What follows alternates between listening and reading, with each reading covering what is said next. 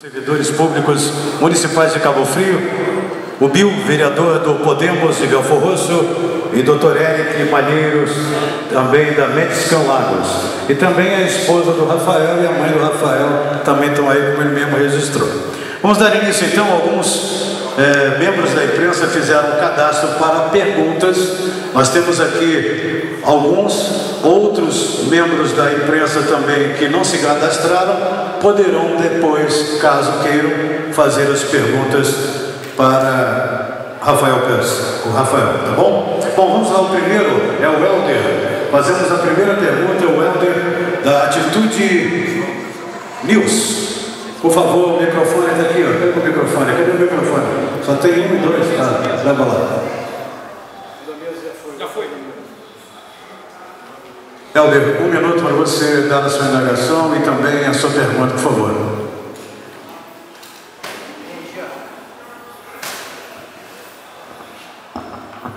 Bom dia, Rafael. Parabéns pela organização. A sua pré-candidatura à Prefeitura de Cabo Frio é um desejo pessoal ou é um clamor popular?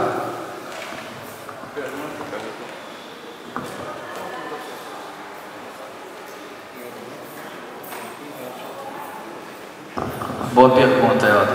Olha, a, a construção dessa ideia de uma, de uma pré-candidatura, ela surge do desejo da população. Ela surge da memória eleitoral das eleições de 2018, a eleição suplementar, onde a gente veio com uma, uma candidatura é, inesperada e até em cima da hora, digamos assim, e conseguimos aí um patamar de mais de 14 mil votos surge é, de um clamor da população que a gente sente nas ruas, de uma novidade na administração de Cabo Frio. Surge da decepção com os governos anteriores que têm passado pela cidade, alguns até prometendo essa renovação e que não têm chegado a, a, a esse processo. Eu sempre costumo dizer que eu não sou candidato é, por livre escolha pessoal. Inclusive, para falar bastante sinceramente, né, a gente está entre amigos aqui, para mim seria até mais fácil ser pré-candidato à reeleição para vereador. Né? Se eu fosse carreirista, se eu quisesse é, é, me eternizar na política e viver disso, até financeiramente, não é o caso, é, preferia uma candidatura à reeleição para vereador que nenhuma é, eleição é, vitoriosa antes do tempo, mas seria mais fácil. A gente não está pensando assim, a gente está pensando em avançar na direção das soluções que Cabo Frio precisa.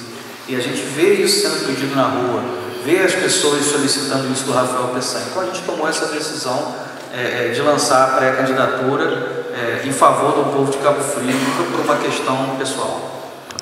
Ok, agora o próximo jornalista é João de Silva, representando a Cabo Frio FM e também, creio eu, fique bem informado, não é isso, Dona? Bom dia, bom dia Rafael, bom dia a todos. Na última eleição que você participou, foi uma eleição suplementar, foi um tempo muito curto, as pessoas viam você ainda como uma novidade, primeiro mandato de vereador. Nessa eleição você vai ter um pouco mais de tempo. E você não vai ter pessoas com quem você caminhou na última eleição suplementar.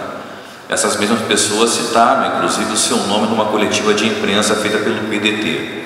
Você já definiu qual partido você vai? É, é uma pergunta. E a outra pergunta, a expectativa para essa próxima campanha eleitoral? Dona, na verdade você fez duas, mas fez três, né? Então, é, bom, primeiro a gente está é, é tá conversando sobre a questão partidária, estamos bem avançados, mas a gente prefere é, costurar isso mais um pouco. Nosso prazo de filiação é 3 de abril, então a gente até lá vai estar conversando. A nossa prioridade em filiação partidária é alcançar aquilo que a gente espera de um partido. É confiança nas pessoas, né, as pessoas que estão militando com a gente na cidade, as pessoas que estão militando a nível estadual e a certeza de que a gente vai poder construir juntos, né, sem bravatas, sem trocas de favores. Então, nós estamos construindo ainda essa questão da filiação partidária, conversando bem, bem avançado, principalmente com esses partidos que hoje fazem parte da nossa base, que a gente tem mais confiança e mais aproximação. É, sobre 2020, a nossa perspectiva, primeiro, é fazer uma campanha pautada na unidade. é, congregar os esforços, os lados que parecem diferentes, tentá-los tornar unidos, trazer para essa construção que a gente está procurando fazer é, o maior número de pessoas, de instituições e de partidos que estejam dispostos a representar é, essa transformação na cidade de Cabo Frio, o conserto da cidade de Cabo Frio, uma gestão responsável, menos politiqueira e menos discursiva e mais eficiente para as mudanças que Cabo Frio precisa. A terceira, que ficou subentendida, né, é sobre a questão do grupo. É, eu não sei se algumas pessoas que estiveram com a gente na eleição suplementar não estarão na próxima. É, o nosso trabalho é para que todos estejam presentes na nossa construção política. É isso que a gente está pautando aqui hoje. É, e eu quero mais uma vez dizer que o nosso trabalho está aberto para todos que queiram, é, é, assim como a gente está fazendo, né? abrir mão de interesses pessoais, de vaidades, para poder somar nessa perspectiva. O meu desejo, não sei se a gente vai conseguir fazer, mas meu desejo é de que nós tenhamos todos que nos apoiaram na suplementar de 2018 e mais novos nomes, novos partidos, novas instituições que possam somar nessa mobilização do Cabo Frio. Ok, antes de Antes da próxima, próximo veículo de comunicação, eu gostaria de registrar a presença de Alexandre Martins, presidente da Associação da Praça de Alimentação da Cidadania, e também Luciano Mota, do portal Fonte Certa. Próxima pergunta vai do blog Juarez Volotão, representante Luiz Cláudio Júnior. Bom dia, bom dia Rafael, vereador Rafael Peçanha, bom dia a todos.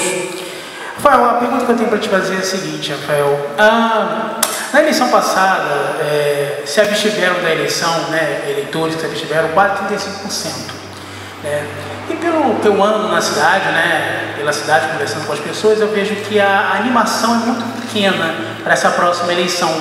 Qual seria a estratégia, no caso sua, né, do, do vereador Rafael Bessanha, para é, acender a chama da população da frente de novo para essas novas eleições?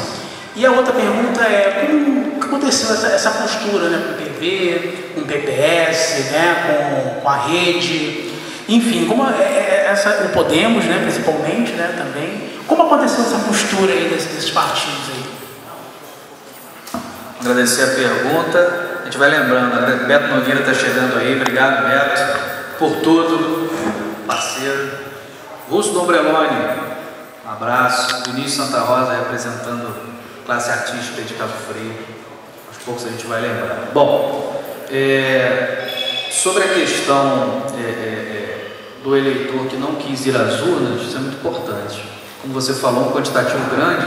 E hoje, Luiz Cláudio, além dessa é, indisponibilidade de uma parcela grande do eleitorado de não ir às urnas, pelas questões nacionais, pelo, pelo, pela situação é, depreciativa que a política vive, nós temos ainda um sentimento próprio de Cabo Frio, que é muito é, fonte é, do momento político que nós vivemos hoje, é, de uma baixa autoestima, digamos assim, do Cabo Friense, que não deixou de amar a sua terra, que não deixou de ser apaixonado por Cabo Frio, mas que tem se sentido envergonhado de ser Cabo Friense, principalmente em outras, diante de outras cidades. Então, esses sentimentos nós precisamos combater, como você falou. Eu defendo que a estratégia é, em primeiro lugar, essa unidade que a gente está pregando aqui. Né? Arildo, nosso eterno presidente PV da região, membro da Executivo Estadual, um abraço, irmão, fica à vontade aí. Primeiro, Luiz Cláudio, é a unidade unidade para a superação desse desafio. Existem vários desafios a serem superados na questão eleitoral do ano que vem. Um deles é exatamente esse. E só é possível essa superação se houver união né, da parte da classe política que quer o movimento de transformação da cidade de Cabo Frio. Segundo, é, é tentar entender, às vezes a gente se os fenômenos e não procura entendê-los na raiz para tentar transformá-los. E aí eu trago a minha humilde experiência como, como doutor em antropologia para analisar isso. Não basta a gente ficar impressionado com o movimento, a gente tem que entender por que ele acontece. E ele acontece exatamente porque a classe política de Cabo Frio historicamente se mostrou ineficiente e meramente discursiva.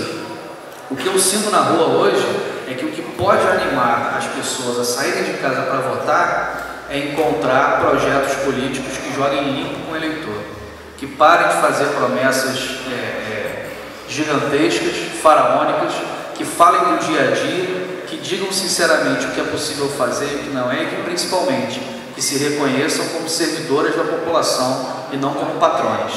Então, esse discurso que a gente vai tentar mostrar, que não é só um discurso, é uma prática, né, mostrar o trabalho que é possível ser feito através de um mandato para melhorar a cidade de Cabo Frio, é a estratégia que a gente vai tentar utilizar para convencer o eleitor que está desanimado a participar do processo democrático, em primeiro lugar, e depois, em segundo lugar, fazer né, o, o melhor voto para o projeto que ele entenda ser o melhor para a transformação da cidade de Cabo Frio, que a gente vai trabalhar humildemente para que seja nosso.